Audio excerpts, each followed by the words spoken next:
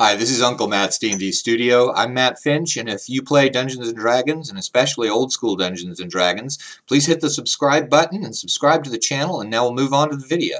Today I have with me Josh Beckelhimer, who runs a blog in which he publishes a one-page adventure every month. And um, although he does a bunch of other stuff, uh, since I love talking about the adventure design process, that's kind of what we're going to focus on. Josh, say hello to everybody.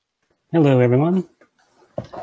All right. So, um, first off, just tell us about the blog a little bit. Well, the blog it started, I think, around last year when I got really into swords and wizardry.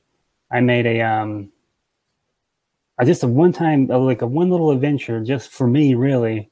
I thought I would just share it to everyone else, and people seem to like it. Like that blog post got 500 views within like a week, so I thought I would just keep it up yeah, whenever you say free on something, you know, you, you get a bunch of people. It, oh yeah, they get it no matter what. Even if they don't even look at it, they get it. Yeah, I, I think there are a lot of people who just collect this stuff, which you know is is yeah. fine. I think. Um, so uh, talk about that first adventure, and then we'll go into you know how it continued to to move on. I mean, what was the adventure that you first did? The the first one I did was an idea I had based off of a song by the band Beast Wars and I just thought it would be a cool little adventure to have, and it was called uh, the Tower of Skulls. And I just, from that title, I just thought of this tower where people um were like worshiping this god type demon that would collect human skulls, like that they would feast on them. Mm-hmm. And then I just set it up that way, and you know, I wrote out how adventures could be hooked into it and what things you can find in there, and just wrote out stats to the humans and the um the big demon at the end. So the um, I've always found it real interesting when people go for the uh, the one page adventure format, and I know how useful it is for a lot of people to sort of look at something like that, have the whole thing on one page, you know, get a, a thing from it. Now, when I write, there's no way I could possibly manage to uh, compress something into a single page. How much work does that take to to get it there? Well, it helps that I don't have any maps at all, so that that helps. So I just mainly put in the key NPC stats, like the ones that you must have, and then of course the the GM can create their own stuff, and then I put like um, custom features that you might find within the adventures that the GM can or cannot use. It doesn't matter. But for me, it's just more. I have a hard time you know, okay, this is part one. Let me read what's in number room one. Okay, now, now we're going to room 39. Let me read this and see what's in here. I have a hard time going with the structure modules because I feel like I have to know it all before I can run it. So it's very difficult. But with the one page that I make, I have the key information, some stuff that I would like to see in there, and then I just wing it. We'll see what happens. So, um, what I'm hearing you say too is kind of something interesting because it it's um, it's an entirely different approach from the way that most people write a module in which the idea is to provide the person using a module with all of the different details that they might need to have. And in fact, what you're talking about uh, is an entirely different lens for viewing the idea of what is a prepared adventure. It's a it's a starting off point and an outline. I mean, is that an accurate view of how you approach it? That's yeah, that's pretty much it because I I set up the goal of the adventure. Like this is what's happening. This now your players figure out how to get there and how they solve the goal, if they even solve it at all. So I mean, it's more of a um, it helps with like for people that have anxiety about running games. All they need to know is these are the key points we'll just get there how we get there. And so um, that again implies a different type of approach to the way that a lot of time people do the the highly detailed adventures because usually in those from talking with a bunch of people who design them they don't necessarily think about the thread that's going to get the adventurers there a lot of the times they're focusing on the location and the various parts that are in the location, and then their idea generally as a writer um, is to say, you know, hey, the pathway is you know utterly up to you, and that you know we're talking about in the design process, and in your design process, what you're doing is you're starting with the idea, then thinking through the thread, and instead of providing the every detail that's involved in the location, you're providing the details that are going to get needed along that thread. Yeah. Like, for example, like I have, you know, a lot of modules that I read through, but it's anytime I read through them and like, oh, I would like to run this, I get this anxiety of like, man, I got to know all 88 rooms before I can run this. That's how I feel, which I obviously know that's not true. So if I look at it, okay, what is the goal of this module?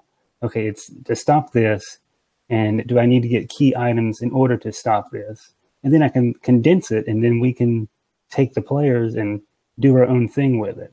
It's still the same module, but it may not be the same way the writer wrote it or how the artist drew the maps because it could just go anywhere, but within it's the same storyline. And some of the discussions I've had, in, in particular, this was with um, Zak Smith and Guy Fullerton. And both of those two guys talked about the presentation of information to the reader. And Zak's point was you can compress an enormous amount of information into an illustration. And Guy um, also agreeing with that, but he also said, hey, you know, just by cutting down sentence size, you can have more information presented. And the, the, the idea was that when somebody reads a module, they sort of see it in blocks of information. You know, it's you can only see uh, you know, one page at a time or two pages if you've got something, you know, opened out in front of you uh, like this. And so, really, what you're doing is taking that to, um, I won't really say it's logical conclusion, but it's um, really, really focusing on the idea that someone is going to take the, the idea for an adventure all in one hit and then sort of put that together as a as an inspiration tool of getting it all in that one hit all at once.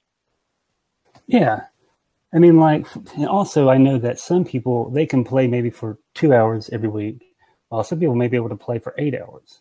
So that's why I set up like the um the location, I'll give an estimate like this dungeon might be around 3 to 6 levels with maybe 12 rooms per level. And that means that GM can look at it and go, okay, I can put this here and here to know like this will fit my group if we want to do it in a one shot rather than feeling like you have this gigantic module. We only play every two hours. It's going to take us forever to get through. You have the main points you need and you can make it as long or as short that you need it. And that's one of the benefits I think with it is you know what's happening.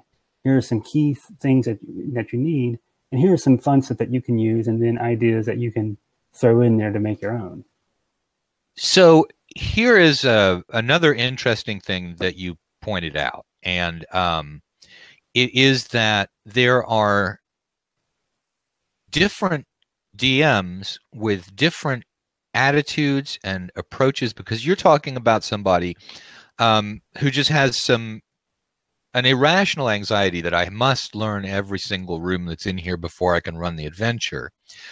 And I've run into that run into that too. it was in a slightly different context, but you know, I've often, you know, talked and complained about long read aloud box text and I, I had somebody i've told this story before but i had somebody come in and say hey you know i really like that because i'm not super creative in the whole visualization thing and it's real helpful for me uh, to have read along text you know it's it, it it props up a particular weakness that i have as a dm and it sounds like what you've got here is something that whether it's designed to do it or not uh, is is a, is addressed to a particular um, reading experience by the dm yeah i mean i love those big block texts too. I love reading them like i love seeing the details of the rooms but then a lot of those big block texts, there's maybe one thing that you really need to say, rather like, oh, okay, we know that the ground is this and this, rather than describing the whole thing. So then you just, I, that's why I put those little features where, say, the ground is covered in some mold and you don't know why, you know, something like that, where okay, that's this room has mold in it, but nothing else does. What could be causing that? Why that's why is that there? Rather than having this huge block test that you have to read and then try to memorize that room 83 has mold in it, and this is why. But with these little features, you can just place that wherever you want. Like, oh, okay, it's, it's in this room now. So let me ask you a question. I mean, I know that you probably use these in one particular way, Mhm. but do you have um because there are really two different ways of running an adventure like that. I mean, you could take it and just have that one page in front of you and be working on it on the fly, Yeah. or or you could have somebody who takes it and then writes in an additional level of detail using what you've done sort of as the framework for it. Do you have one or the other of those two approaches in mind while you're writing it? I, I have both because I try to set it up to where, like, for example, someone that loves to draw maps and have maps, I set it to where, like, you know, you have three levels in this tower. There might be six rooms a level. So that gives that person an idea, like, okay, I can draw out exactly what this map is. Or then you have someone that does it on the fly who just just wings it and like, okay, we're in this room now, and he can take them wherever he wants to without av- actually having a map, so he doesn't feel like he's constrained to this map. But while others they love the map and they love having their miniatures out, and that gives the people to be able to sit there and look at the outline and make it their own with their map. They can design the map how they want, and then they can put those features in whatever room they want, and then of course add in or subtract whatever they would like. So it's really a um, there's it's a it's a very flexible tool that really does something different than the fully written out module, which is really interesting because it's more it's almost more interactive between the uh, the person writing the adventure, you, and the person you know who's reading it. That Yeah. almost a, a cooperative effort between the two of you. Does that does that show up when people comment, you know, on the adventures in the blog, or do you get many comments? I know most people don't get comments on The- free stuff. People just walk main- away quietly. The main comment I get is never really a comment, but a complaint, and it's always, "Why are there no maps?" And I always have to explain, "This is why there are no maps. It's for people, you know, different gaming groups. You know, this is why there's no maps, and people feel like they're constrained to a map.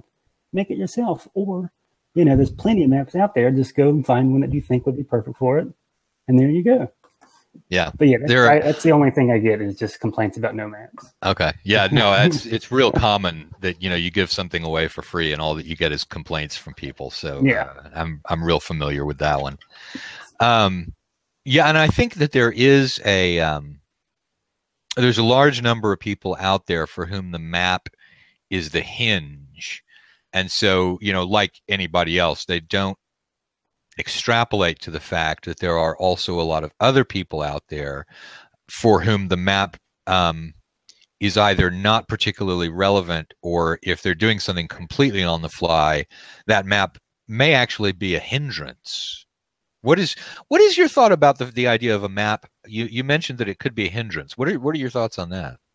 my my main concern is like I have really bad anxiety, and then so looking at those modules, I'm like, man, how am I going to prep for this? There's no way I can sit here and know everything that's in here. And I think with the map, it's like, oh, I was expecting you to go into this door, but you went this door. Hold on, let me go and look. You're like, oh, I'm not prepared for this. I forgot what was in this room.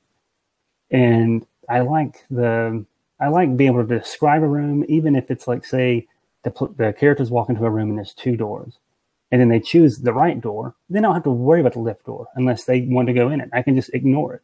It doesn't matter what was in that door at all. They'll never. They it wouldn't be like they were missing out on some special treasure or whatever because it wasn't needed. They didn't go that way. I can place that special treasure wherever they go, and I can place that main villain wherever they go. I can so it feels like they're making the choices, and I, I already have it planned out. But really, I'm placing it to where it feels comfortable for the story and for the players. And so once again, I mean, this is this is real interesting looking into the psychology of it because once again, you're describing something where you think of adventures in terms of a pathway through the through the adventure, and the stuff that they don't go to is completely irrelevant because that that's not the path that they're following. So, Yeah. um, and and so that I think comes through into your adventure design um, philosophy, which is which is interesting. I'm wondering, uh, uh, you know, if if a lot of other people have that kind of of approach to doing it. Well, like I got the idea mainly from um, you know, testing out the, the game Dungeon World.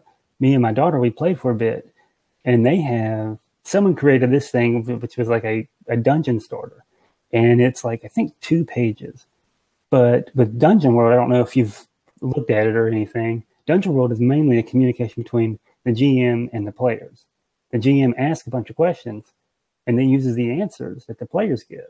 So a GM can even say, You open this door, what's in it? And then the players will give you the answer. And typically it's terrible things that they find because players like to hurt themselves. Yeah, it's amazing. It's it's amazing. we we we just had a great in my last gaming session, we just had somebody set off what they knew was a massive bomb inside the dungeon, and then the, everything else was dealing with the consequences of the massive bomb and what it does. Let me um, now another interesting thing you've mentioned um, is is anxiety because I have I have an anxiety disorder and um, I was on uh, which doesn't really apply to to playing D and I mean I do, but I was talking with um, uh, Stacy Dellorfano, and um, I said, you know, I'm getting ready for uh, for my game, so now's not a good time to do an interview because I always get sort of hopped up and anxious before a game. She's like, "Yeah, me too," um, I, and I'm I'm I'm wondering how many, you know, is if that's even a sign of a good DM that you tend to have a little bit of anxiety ahead of time, or if it's uh, just something that's really common, or if there's a particular type of DM that that tends to run into that because you know you and I um, sort of share that attribute. I, I, I think about the idea of you know I'm not um, comfortable with the idea of coming up with something that someone else has written because I feel like I I'm going to miss something. Oh yeah, exactly. Like I would love to run, you know, um, Ravenloft, but I'm like looking at, it, I'm like, I'm going to screw this up, and I don't want people to know that I'm screwing this up so I actually thought about seeing how I can condense that into a single page because obviously the main goal is to kill Strahd. That's about it. And so that's the main purpose of that adventure. And then you can just read it and be like, okay, this is a cool feature in this room. I'll put this on my page so then I can use it whenever I feel like I need to. And I think that helps too because you can, most people read through modules, but very difficult to memorize them and to know where's what's what and prep for them. But it's easy to read it because it's like a book. Yeah, in fact, I said once uh, to some somebody or other that really uh, adventure modules are almost a niche form of fiction in which you uh, you know trace through it rather than following a plot line. You tra- you trace through the the location. I know a lot of people who just like to read modules. Oh yeah, because they're great because as you're reading them, your imagination is going like, how would I do this in this situation? What would my characters do? Or what would my friends' characters do in this room? And it's great to read them. And I think that's why I try to put it in that one page format because I don't really know what's going to happen, how any character is going to react and they if they come across a room with poison gas everywhere. Every player is different, every character is different. And so if you have it set to like this is how this works, it may not go with the other players and how the characters work. So they might hurt themselves badly because, well, in the module it says this is the only way to stop it, but they're not figuring it out. But if you just make it basic and just this is it, you let the GM discover how it happens, how it gets removed, things like that. I just I just say the main detail. Like for example, like maybe there's a pit trap going down the steps. That's it. That's all I need because I know down these steps there's a pit trap. Right. Nothing else. Now, um, let's talk about some of the other things. I mean, that's probably the central feature um, of your blog.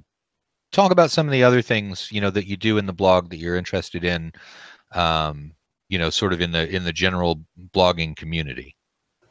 Um, I, usually what I do sometimes I, I highlight things, like I'll highlight other blogs or other gaming products that I feel like people should be looking into and and checking out for themselves. Sometimes I'll do reviews or just random whatever that's just gaming.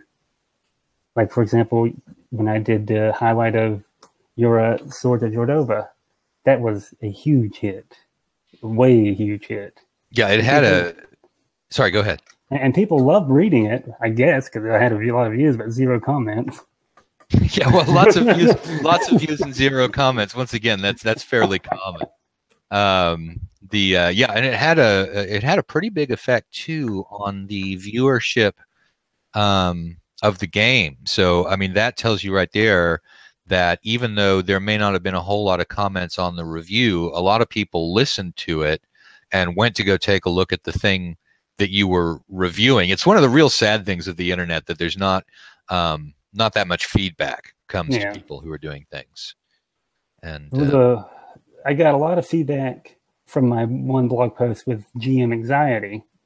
I mean, it wasn't on. Oh, I missed that one. Itself. I missed that one. I wish I'd, I wish I'd read that one. It's. I think it's just maybe two or three posts back, but um, it got a lot of um, you know comments on like social media. So, but not on the blog itself. But that was a, a pretty big hit, and it seemed like people were sharing that too. And a lot of people seem to experience the exact same thing. And that's, and I explained why I create the one page adventures in that blog post. And some people didn't even know I did it. And they now we're looking through my um, one page adventures because of that. I think that there is um, a trend. I don't know if it's a huge trend or why it goes on, but I've seen a lot of people start to think about um, well, in, including me with that the person who had that thing about the read aloud text. A lot of people are starting to think of modules not necessarily as being a standard form of presenting a dungeon anymore. They're starting to view them, I believe, as a communications tool um, for getting some sort of idea across. And so, you know, you are. Um, I, have seen one page dungeon stuff. I mean, Michael Curtis a long, long time ago did a whole um, one-page dungeon level sort of thing, um, and I've seen it before, but I don't think I've heard anybody articulate it um, the way that you have in terms of it being a tool for a DM who perceives or runs the game differently from the standard format. You know that yours are a a, a specific um, communication tool for that.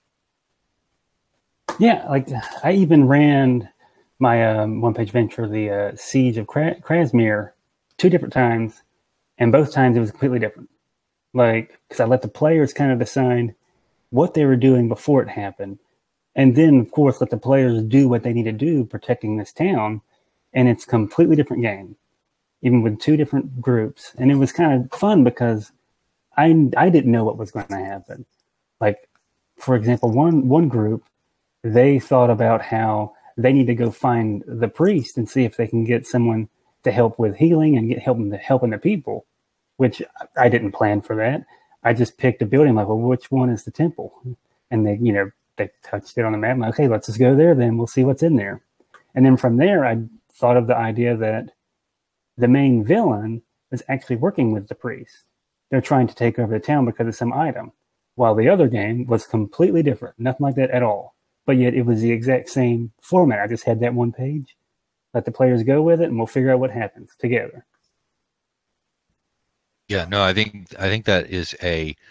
Um, I, I, what I really like about that is that it's designed for um, the fact that a lot of stuff in play happens on the fly you know where the players will do something that you don't expect there there would certainly be some people who would you know say oh it's not old school because you're not defining the challenges and then letting the players uh, run into the challenges you know sort of as they are in the world that is created but at the same time i think you've got a lot of people who would um, say that old school is is is definitely all about um, enabling the DM to work on the fly. You know, that one of the things that the older school systems allow um, is much, much more flexibility in terms of just running with it.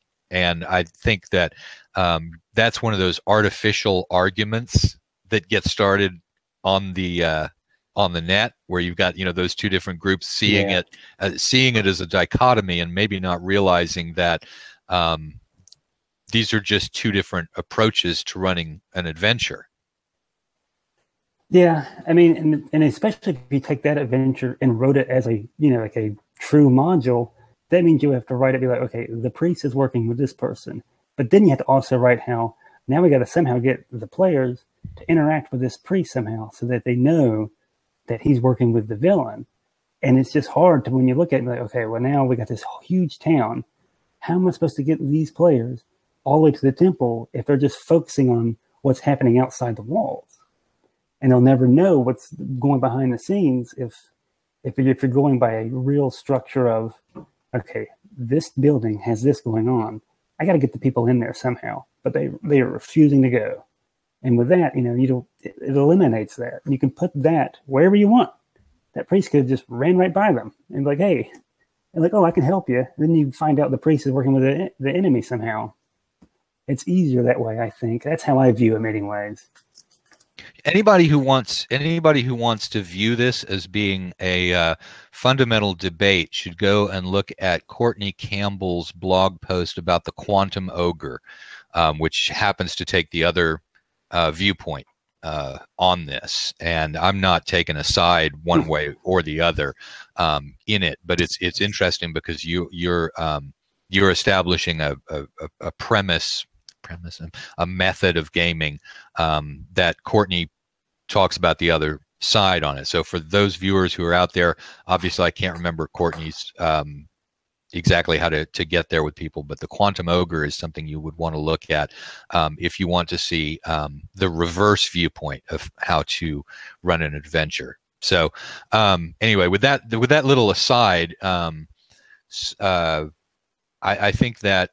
Uh, one of the interesting things you're describing there is something that I run into a lot, which is trying to plan for the um, for the information flow that has to go to the uh, to the players.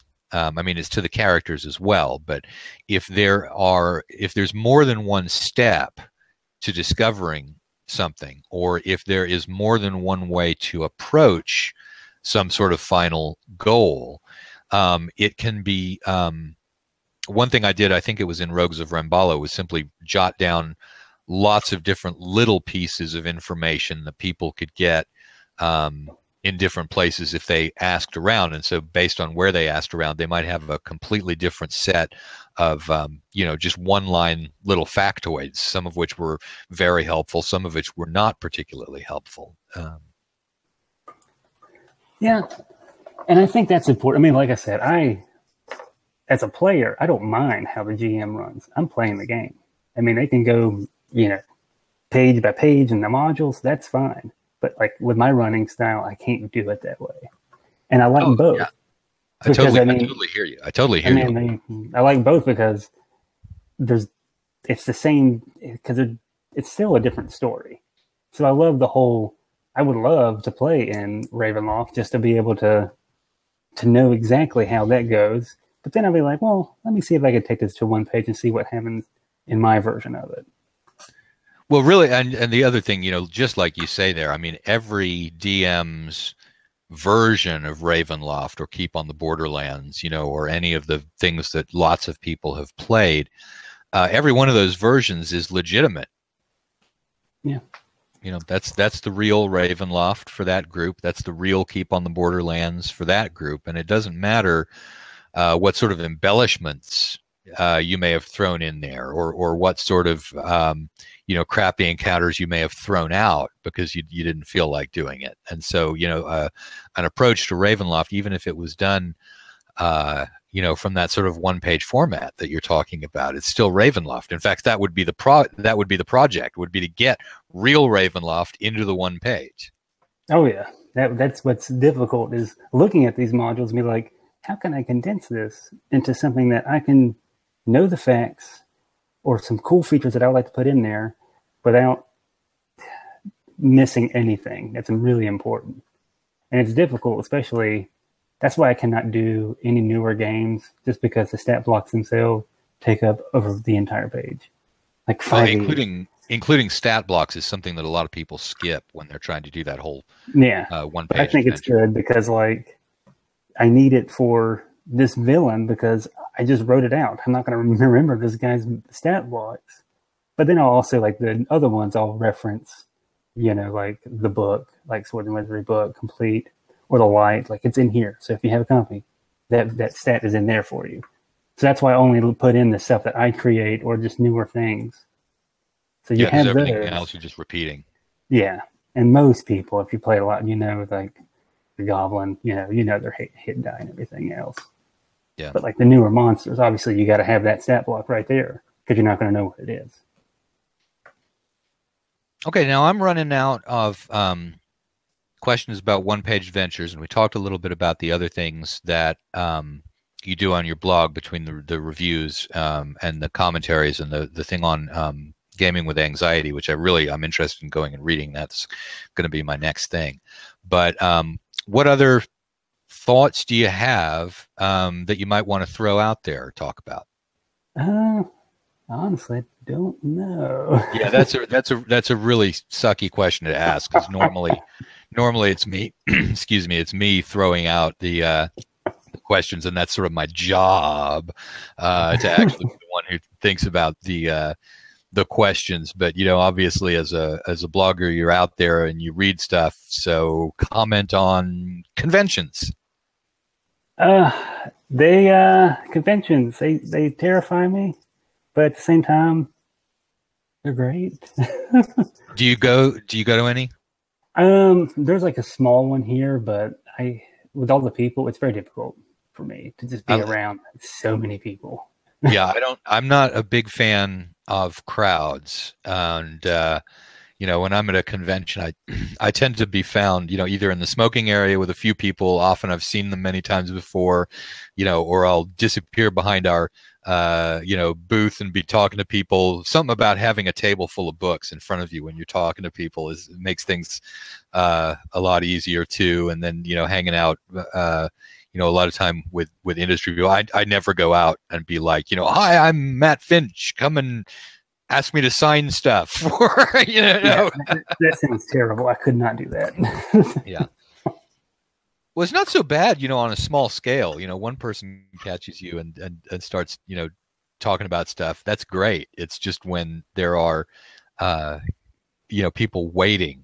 That that one really throws me is when you're talking to one person and there's somebody else waiting to talk to you. You just go, what what is the social convention in this situation? I have no idea whether I'm supposed to, you know, try and include both of these people or whether the thing is that this guy's got my time and I'm focusing on it. You know, what is, I don't know what good manners are in this situation. yeah, I, I, I cannot do that. I don't know when to stop talking to this person, acknowledge that person. It's terrible. I get. I try to avoid all situations like that. Yeah. Well, I was real fortunate that, you know, because I had not been to a convention oh for decades. In fact, the, I think the last convention I had been to was one where I got grounded for coming in uh, so late. Hang on a second. So was my mom. All right. So that's going to be the second big editing chunk on here. Um, shit. What was I talking about too? We were talking about conventions and we were talking about dealing with people at conventions. Uh, shit. Do you remember one? Something about. I don't even know. uh-uh.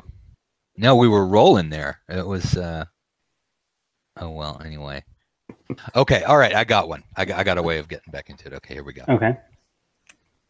So one of the things I really like on the on the topic of conventions, I hadn't been to one um, for like decades, and I got and it like so long ago that I got grounded for coming home too late, and um, that was OwlCon, by the way, here in Houston, and um, uh, and then as an adult, I got invited to North Texas uh, RPG Con, which at that point it was like their first one, and there was only fifty people, and I was like, okay, fifty people, I can do that and um, so went to that and then of course the convention has grown but i guess since i sort of grew with it, you know, I saw it incrementally going up every year. So it's kind of like, you know, how do you boil a frog? You just put them in water and heat up the water, and they don't get out. And so I guess that sort of ev- evaporated some of the the anxiety that it was only getting bigger a little bit per year.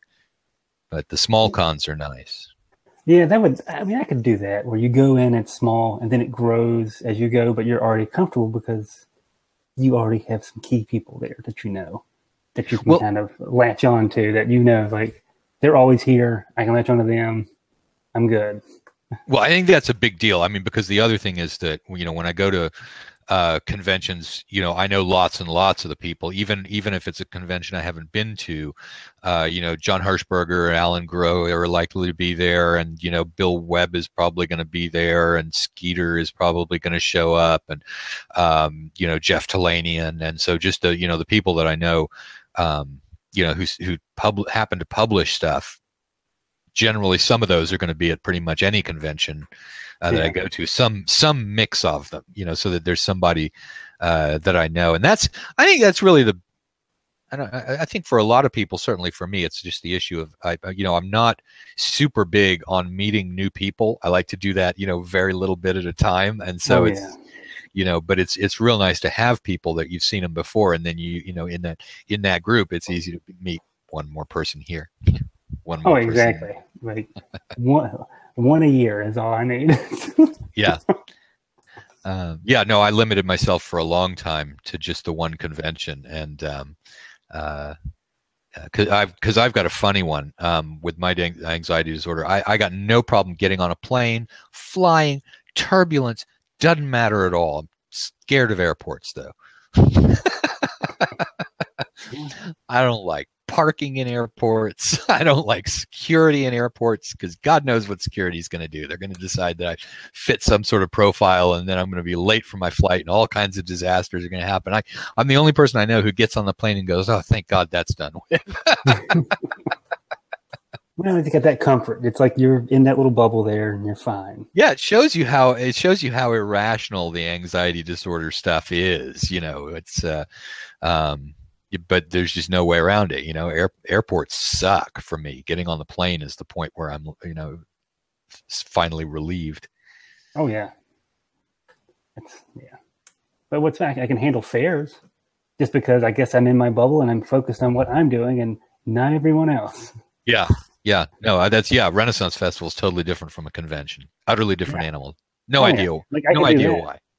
I could do that fine, but everything else, it's like, uh, yeah. I, know, I guess it's like you're forced to see people. You're forced to say hello. You're forced to have a conversation with people. But yeah. when you go to those, no one knows you. No one cares. Yeah. and the and the and the funny thing is, you know, I absolutely love meeting people at cons. I love gamers; they're fascinating um, you know the most interesting people in the world are gamers at a convention. It's just that you know it's the it's the social bit about you know hi how you doing? Pleased to meet you. Gotta hope i remember your name later. But then when you get talking to them you know it's it's the best thing in the world. I really love that. But uh, uh, boy it does it does have you know every single person there's a momentary leap of you know oh yeah. you know, and i'm terrible with names. You can tell me your name. I forgot the moment you told me I'm terrible yeah. with it. I'm Matt Finch. I knew that name. yeah, I tell I tell people they're going to have to remind me about their name like two or three times. People are actually really good about that. They uh, uh, they don't have a problem with that.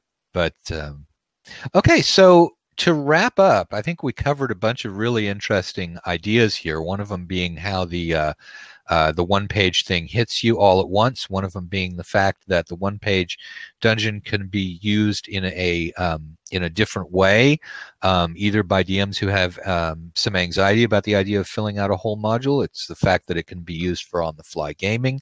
Um, it uh, we talked about the uh, the pathway through it and how that's one way of of looking at things. We talked a little bit about the idea that um, you know you can you can use only what you need.